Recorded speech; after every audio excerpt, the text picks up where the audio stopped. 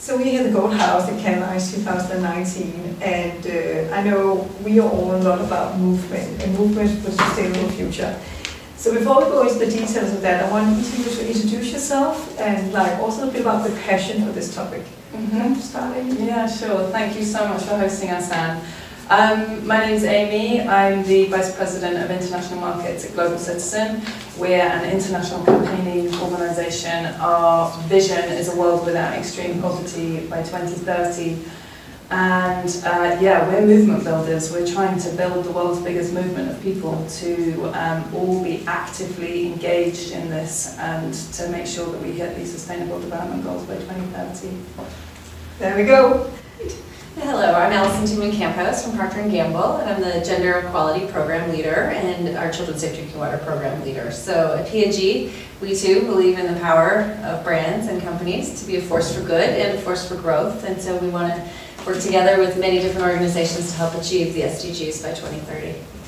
So being here in Cannes Lions, and uh, I would say movements uh, has become a key thing for the way we drive uh, storytelling. Uh, so first I want to ask you, Amy, because uh, Global Citizen uh, is it hasn't been around for that long, but have accelerated extremely fast. Mm. What do you think is the what? Why why now? What is the moment we have right now? Why do we see the to rise of the citizen right now? So we're four years into the SDGs. We've got now 11 years to go, and it feels like now, in 2020, is such a key moment for us to get us on track. It's we've done some great work, but we are wildly, wildly off track and we're not going to hit the sustainable development goals if we continue as we are. And I found it really interesting to think. The, the UN have done some good research on this finance gap. Basically, there's a tri $1.4 trillion of annual additional spend that's needed. And some of that, so maybe a fifth or a sixth, will come from aid, which is great and important. And we I'm really proud of Global Citizens' record in getting some of that aid. And since we've been around, we've managed to unlock about $40 billion worth of additional aid, um, predominantly. So about 75% of that came from either increased aid or better spent aid. But we're also aware that if we're going to, you know, this, it doesn't add up, we need to fill this huge funding gap. And so we've been sort of changing the way that we think about campaigning and working really closely with brands like P&G to unlock vast, you know, vastly more sums of money um, to finance these goals. And it feels like, yeah, if we want to have the impact in 2030, it's now that that change needs to happen, otherwise the impact won't be felt by then. So I think that's the reason for right now. There's a real urgency to it. And this is interesting because if we go way back in time, you didn't really see movement teaming up with brain to do storytelling It's a new thing. And I know that P&G or you, you are really, really strong on, on doing this. We had John Legend earlier today, and I know he has done some great work with you, but talk in general about how you, you as a company are teaming up movement, because this is the trend that we want to see many more companies are taking on. Mm -hmm. So Global Citizens is a, fantastic movement, and we're proud to partner with them. Uh, it was five years ago, in 2014, we made our first commitment as P&G at the festival. Global Citizen Festival in New York that we were going to provide clean drinking water, proper hygiene, and sanitation in schools, and that's part of our Children's Safe Drinking Water program. But we recognize that there's many more areas of focus you know, under the goals that our brands can have a voice. We reach 5 billion people around the world every day.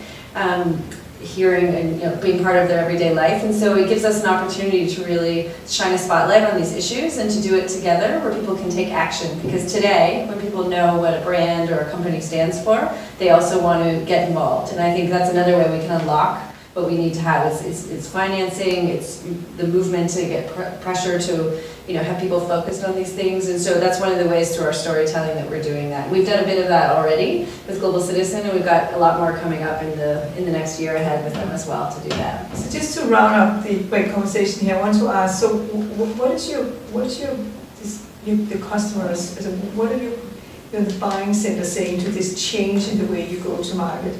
You start selling. Yeah, we know it's, it's crystal clear. So we have we know that nine out of ten or ninety percent of consumers want to know what does the brand stand for, what are their values, who are the people behind it, and so it's, it's critical. We know that that's important for gender equality and equality and representation of groups that haven't been seen in advertising before. So that's a huge part of what we do through programs like Always Like a Girl or Gillette, The Best Men Can Be, Ariel Share the Load. These are all ways that we can create a new conversation and, and spark change. And so we're doing that together and then we're taking on some of the, the root causes or the, the real barriers that we need to overcome to have a world that's free of extreme poverty. And so together with mm-hmm. Global Citizen, we're doing a pretty um, exciting story, uh, six-part documentary series this fall. It'll air on National Geographic all around the world, 176 countries, I think, and there'll be six different episodes looking at what are some of these you know, challenging problems that we need brands and companies and governments and citizens and, you know,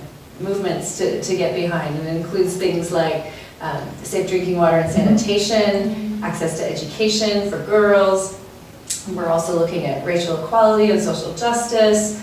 Um, we're looking at plastics, um, and we've also got a couple more that are looking at education and emergencies, as well as um, responsible sourcing and what you can do through your footprint in, um, in supply chains and things around the world. So it's, they're all important issues that we know if we work together, we can achieve the goals. And it's for, from us, just to add, Yeah. from our side, it's so great to work with a company that's not just sort of doing this stuff Mhm. on the side, but it's completely embedded in your business model. And some of the stuff we've done, I've loved the stuff on women's economic empowerment, Yes. which isn't a kind of project you've got over there, but they've, they've cha- you've adapted your supply chain essentially to buy more from women-owned businesses. There's this horrendous statistic, 1% of the trillions of dollars spent by multinational corporations on sourcing, on supplies, 1% is spent on women-owned businesses, 99% goes to male-owned businesses.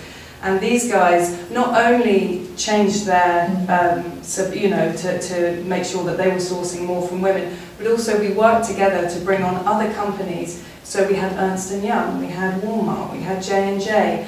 So we've been really part of the advocacy as well. Understanding this is, you know, it's bigger than you. It's, um, it's much bigger than you. So that's been really, really exciting for us. So I think that what we're seeing, uh, and, and it's great to have a really big movement and companies really driving this uh, uh, in a very strong way to inspire the entire industry, that we see the rise of the citizen. That's really why we see the citizens are getting in front of this now. And we see great big brains, uh, the biggest brains, uh, really saying, you know, the storytelling we want to do need to be linked to the movement and really what matters.